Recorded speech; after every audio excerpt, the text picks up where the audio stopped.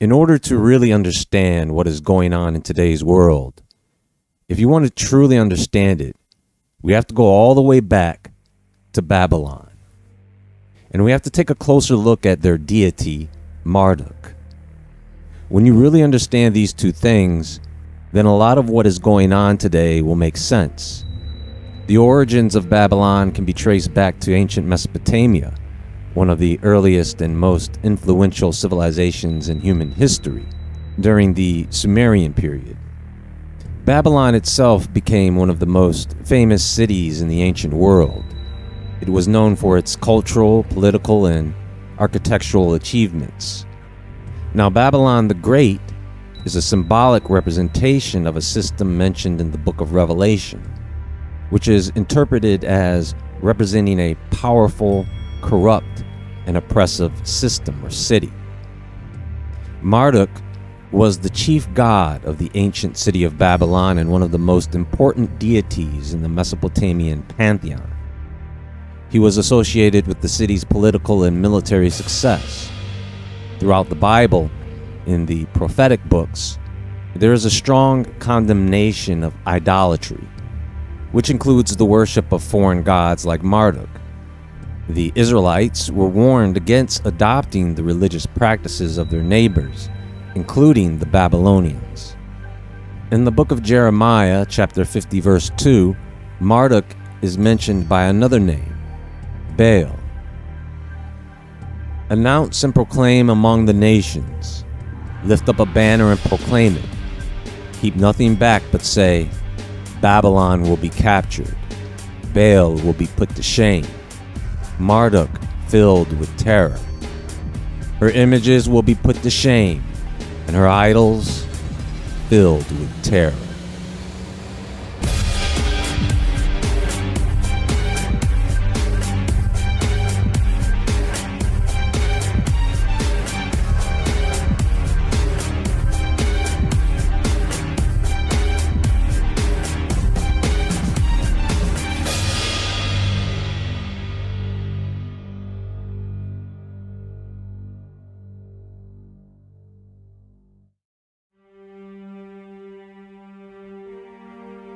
Babylon was situated on the Euphrates River in what is now modern day Iraq, about 50 miles south of Baghdad.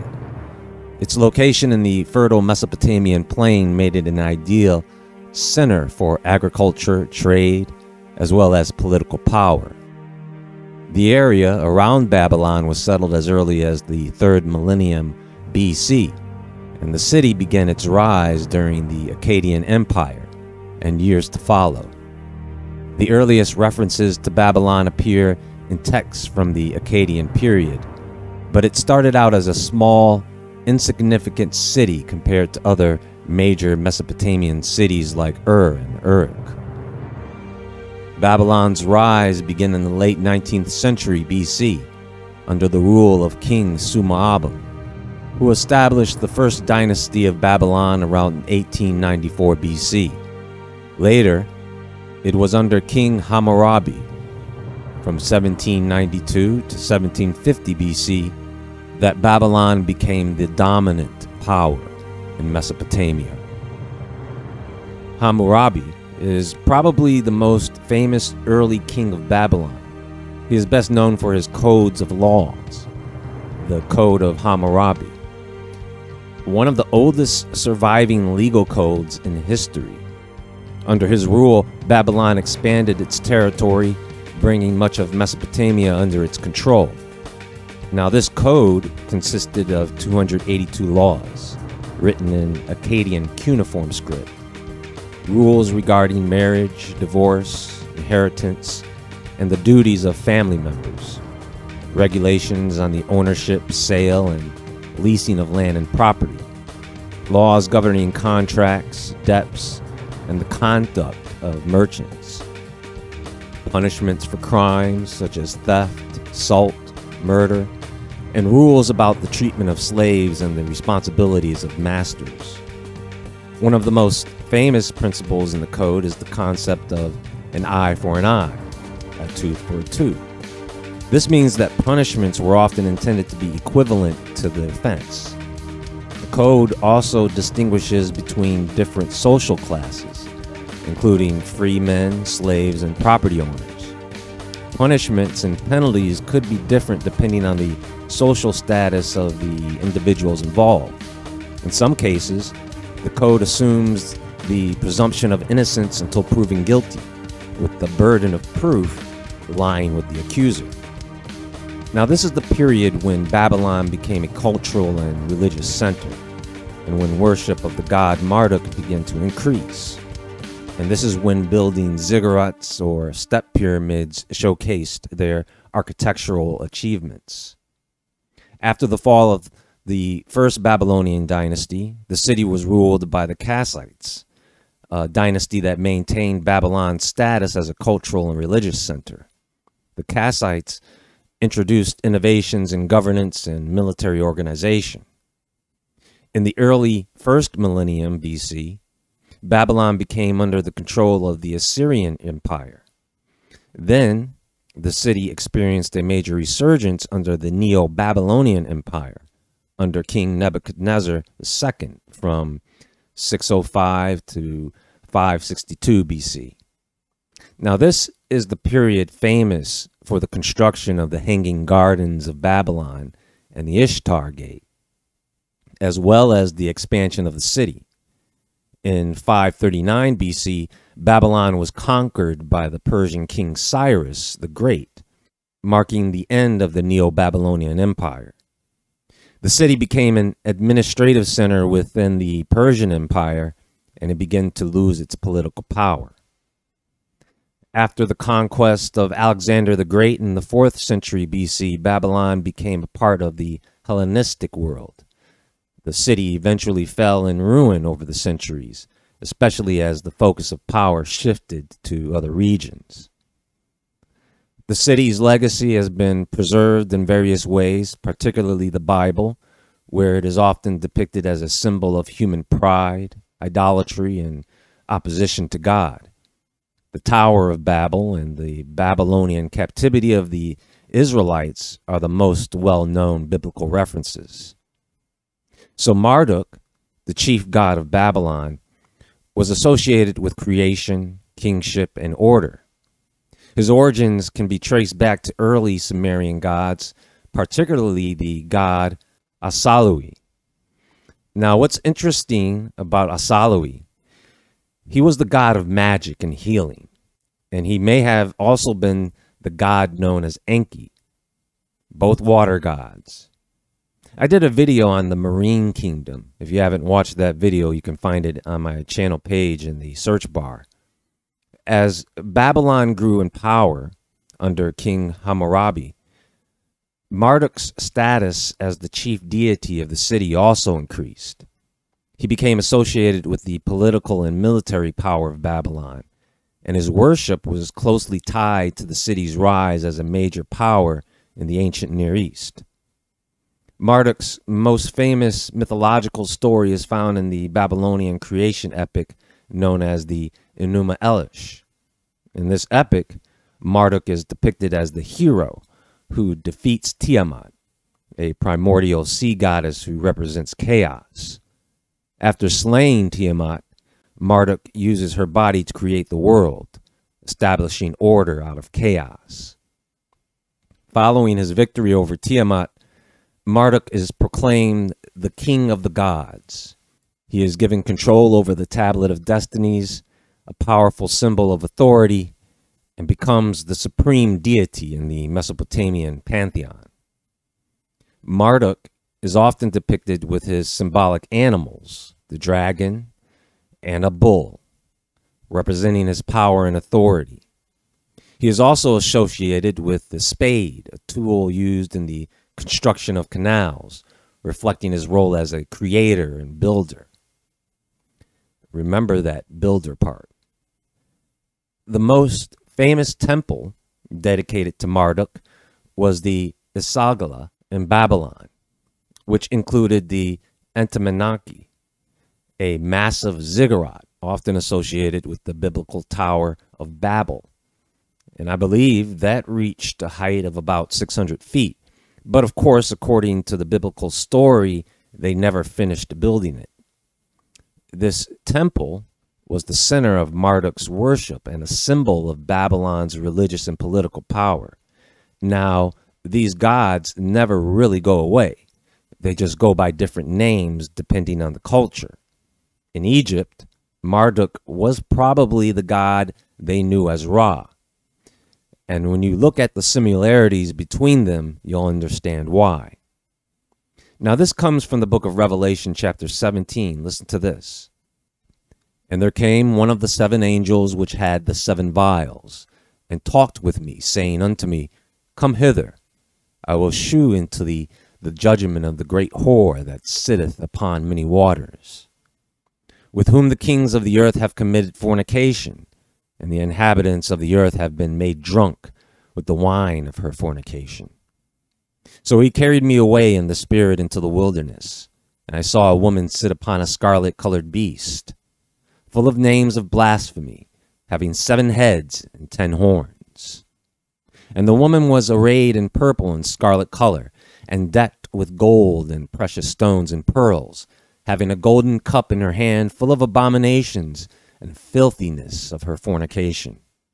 And upon her forehead was a name written Mystery Babylon the Great, the mother of harlots and abominations of the earth. And I saw the woman drunken with the blood of the saints and with the blood of the martyrs of Jesus. And when I saw her, I wondered with great admiration. And the angel said unto me, Where, Wherefore didst thou marvel? I will tell thee the mystery of the woman, and of the beast that carrieth her, which hath the seven heads and ten horns. The beast that thou sawest was, is not, and shall ascend out of the bottomless pit, and go into perdition. And they that dwell on the earth shall wonder, whose names were not written in the book of life from the foundation of the world, when they behold the beast that was, and is not, and yet is. And here is the mind which hath wisdom. The seven heads are seven mountains on which the woman sitteth there goes the seven mountains again. I just did a video on Antarctica. You should watch that video. I mentioned seven mountains in that video. And there are seven kings. Five are fallen, and one is, and the other is not yet come. And when he cometh, he must continue a short space. And the beast that was, and is not, even he is the eighth, and is of the seven and goeth into perdition. And the ten horns which thou sawest are ten kings, which have received no kingdom as yet, but receive power as kings one hour with the beast. These have one mind, and shall give their power and strength unto the beast. These shall make war with the Lamb, and the Lamb shall overcome them, for he is Lord of lords and King of kings. And they that are with him are called and chosen and faithful. And he saith unto me, The waters which thou sawest, where the whore sitteth, are peoples, and multitudes, and nations, and tongues. And the ten horns which thou sawest upon the beast, these shall hate the whore, and shall make her desolate and naked, and shall eat her flesh, and burn her with fire. For God hath put in their hearts to fulfill his will, and to agree and give their kingdom unto the beast, until the words of God shall be fulfilled. Now, keep in mind, folks, that whenever a beast is mentioned in the Bible, they are usually talking about a large ruminant land animal, such as a horse or a cow or bull. That is why these things usually have horns. And one of the hmm. reasons why bulls and cows were considered sacred or worshipped by these ancient people and some people still consider them sacred. Marduk was associated with the bull in Babylon, and he was also depicted with sun symbolism. Ra in Egypt was also depicted with sun symbolism, but he was connected to Hathor, who was depicted using symbolism of a cow. Now, the sun and the bull or cow are important here because later when Moses leads the Israelites into the wilderness and leaves them to ascend Mount Sinai, they melt their gold and start worshiping what? A golden calf.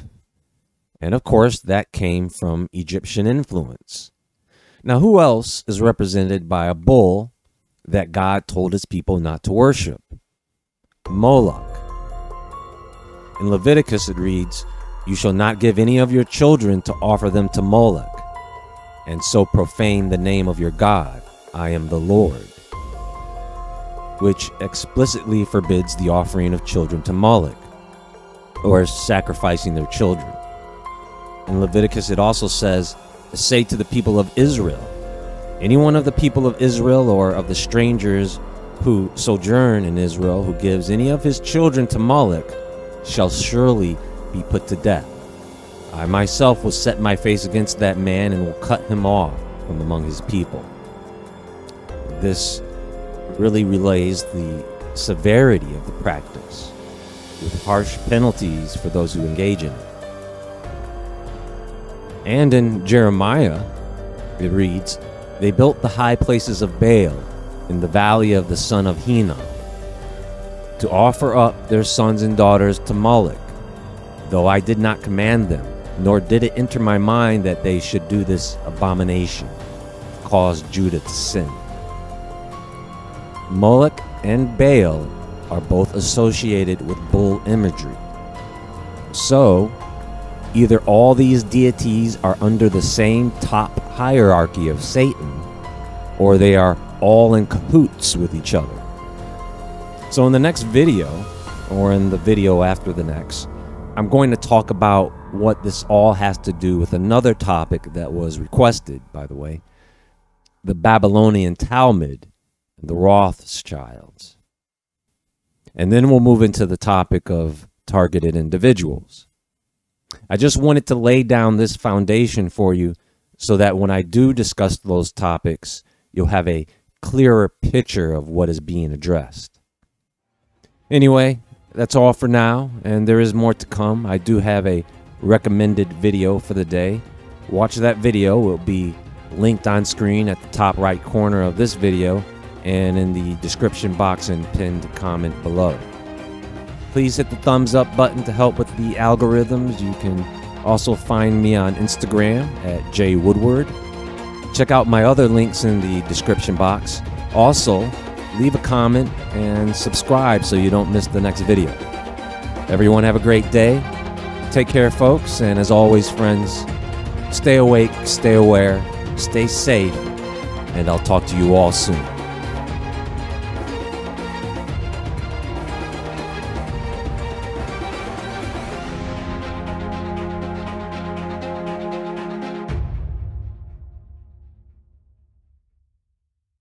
Every minute of every day, your body heals, repairs, and regenerates you from the inside out.